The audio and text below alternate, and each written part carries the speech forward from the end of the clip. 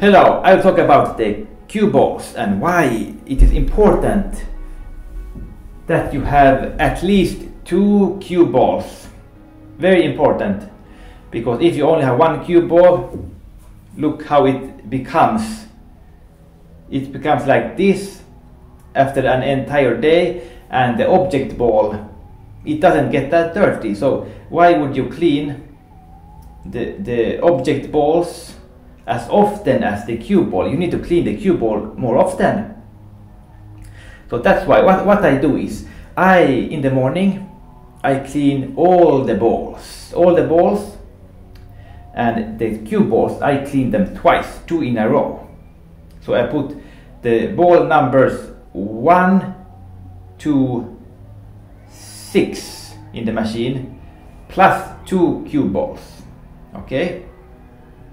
and then I, I keep the cue balls where they are and I take out the 1 to 6 balls from the machine and put them on the table. And then I put 7 to 10 those balls I put back in the machine and I clean them. And so the cue balls stay in the machine and get cleaned again.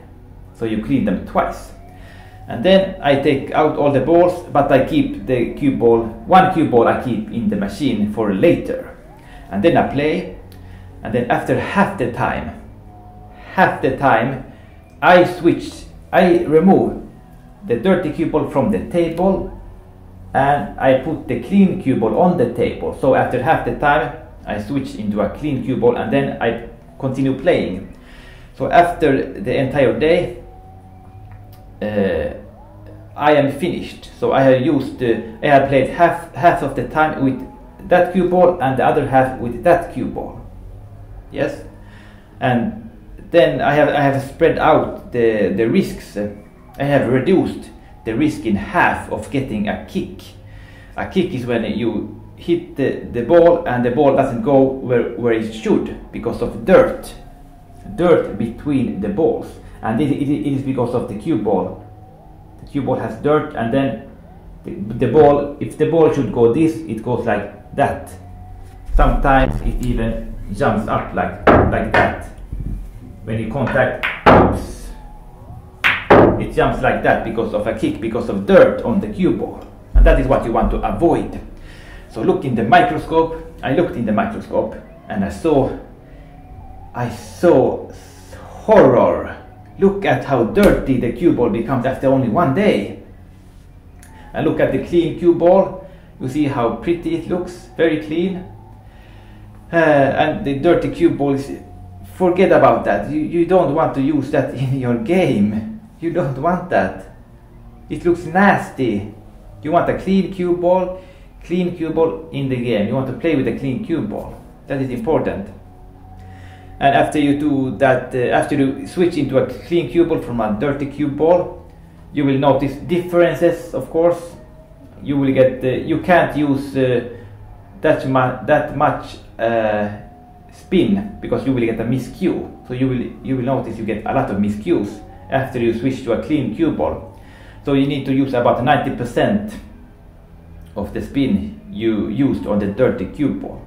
But you will also draw it uh, further even if you use less spin. Isn't that great? It is because it uh, uh, the dirt doesn't slow down the spin. And also if you hit the rail it will slow down here because it, it, it is slippery. The cue ball is slippery when it is clean so it will slow down on the rail but it will draw faster back because uh, yeah. So uh, I recommend you use many cue balls. If you if you can afford you want to use as many cue balls as you can.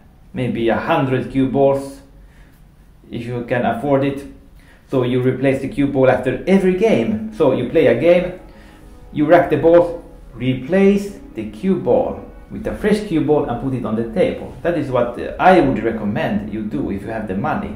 So you, you buy a hundred, hundred cue balls. And then you play a hundred games and after you are completed, you clean all the object balls. Okay? That is what I recommend. But I can't afford many cue balls, so I use only two cue balls. Two, two is twice as good as uh, one cue ball. If you have uh, uh, for the next step, if you want twice as good again, you need to four cue balls and then eight cue balls, and it becomes too expensive to buy. I can't afford it. I, I would love to have many cue balls. So if you want to donate donate money to me so I can buy more more cue balls, that would be great. So check out my Patreon. The link is below. If I maybe if I get enough money there, I can buy more cue balls. Okay. So that's the end of my video. Subscribe to my channel. I'll see you next time. Goodbye.